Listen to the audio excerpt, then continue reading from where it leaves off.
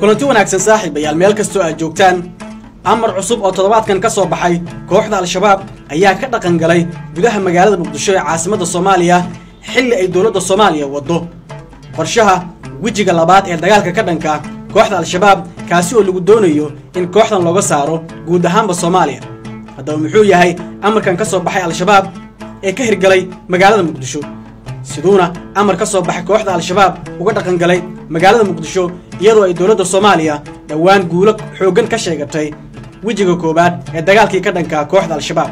Muuqaalkan ayaan kugu sheegi doonaa ee sii shargarey oo la wadaag saaxiibadaada muuqaalka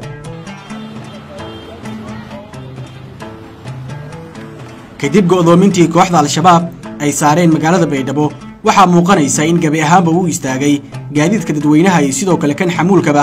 ee geli jiray magaalada baydhabo oo hadda ah caasimadda kumeel gaarka ee maamulka koonfur galbeed. Boosteejooyinkii magaalada muqdisho ee laga rari jiray gaadiidka aadi jiray magaalada baydhabo ayaa gebi ahaanba la soo warinayaa inay istaageen sabab la xidhiirta amar ka soo baxay kooxda al-shabaab oo dagaal adag kula jirta dowladda soomaaliya. Waxaana arrintan lala xidhiirinayaa cunuqabataynta ay kooxdu ku soo rogtay magaalada baydhabo toddobaadkii hore kadib markii uu maamulka koonfur galbeed ishor istaag ku sameeyey macallimiin ku sugan magaalada baydhabo oo ay u yeertay kooxda al-shabaab.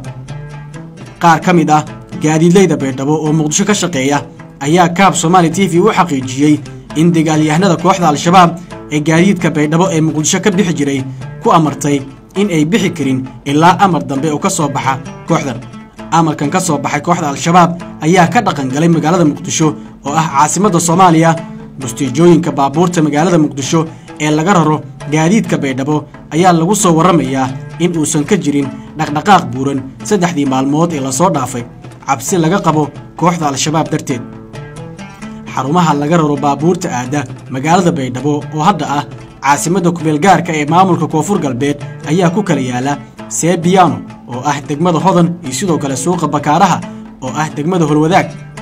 waana goobo ay aad uga howlgalaan sirdoonka soomaaliya.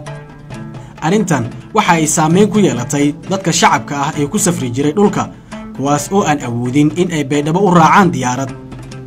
Amarkan cusub ee ka soo baxay kooxda al-shabaab ee ka dhanka ah gaadiidka baydhabo ee muqdisho ka safra ayaa ah mid ay kooxdu ku doonayso in ay ku muujiso awooddeeda iyo sidoo kale saamaynta ay weli kooxdu ku leedahay magaalada muqdisho oo ah caasimadda soomaaliya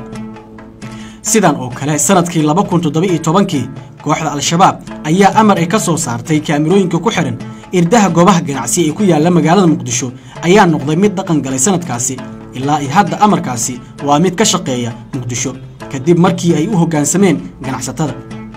Ilaa iyo hadda ma jiro wax war ah oo ka soo baxay dowladda soomaaliya iyo maamulka gobolka banaadir oo ku saabsan amarkan cusub oo toddobaadkan ka soo baxay kooxda al-shabaab ee ka dhaqan galay magaalada muqdisho iyo tallaabo ka dhan ah cunuqabataynta ee kooxda al-shabaab saartay magaalada baydhabo oo ay dowladdu qaaday.